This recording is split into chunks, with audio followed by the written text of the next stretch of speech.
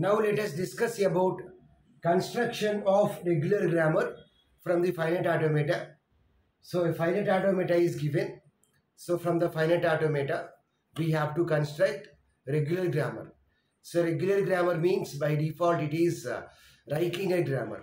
So what is right linear grammar? Uh, in the right hand side, uh, let the production is like this. S implies AB. So this is right linear grammar.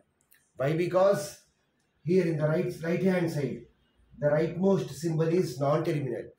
If the rightmost symbol is non-terminal uh, in each production, then we can say that it is right linear grammar. So regular grammar means by default it is right linear grammar. Okay. So let us construct the grammar. So totally two examples are given. So this is the first example. A is the initial state. So A on B will goes to A. A on A will goes to B. B on A will goes to C. B on B will goes to B. C on B will goes to C. C is the final state. So let us see the first one. A A on A on A will goes to B. A on small a will goes to B. Next A on B will goes to A. So A on B will goes to A. So A transitions are over. Now let us see B.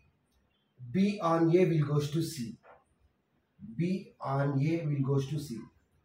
Here C is the final state. Okay. So if we are reaching a final state by applying an input symbol, then uh, uh, we can write it as like this. B implies A. That means even if there is no final state, then also if we apply the input symbol A on B, then we can reach us to the final state. Okay. So if he reaches to the final state, then in addition to AC, just we have to write uh, the terminal symbol also. That means by applying this uh, terminal symbol also, we can reach to the final state. Next B on B. B on B will goes to B. B on B will goes to B. Next let us focus on C. C. C on B will goes to C. Here what is C? C is the final state. So if he, if he reaches the final state by applying an input symbol, then without uh, having the state also, we can apply. So we can write this as C implies B. C implies 3. So that means if there is no state here, then also by applying B on C, we can reach us to the final state. Okay. So this is the regular grammar for this finite automata. If we observe this regular grammar, this is right linear grammar, right linear grammar. Okay. There is no need to focus on these two productions. Why? Because these two are what? Terminal symbols.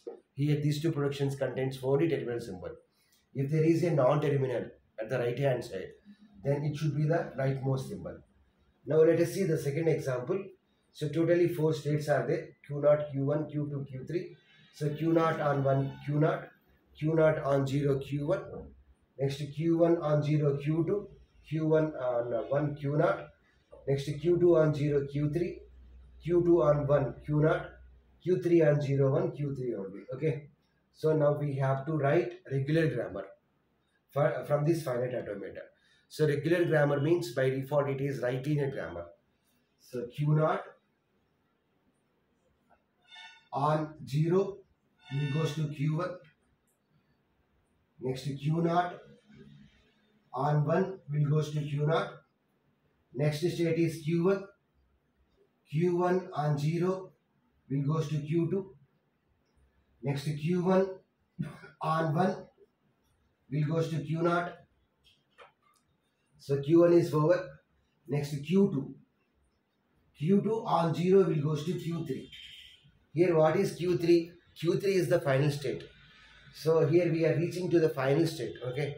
So if there is a final state, then what will happen? We can write it as like this also. Q2 implies 0. That means even even if there is no state, then also if we apply 0 on Q2, then also we can reach us to the final state. Okay. So Q2 on 0 is over. Next Q2 on 1.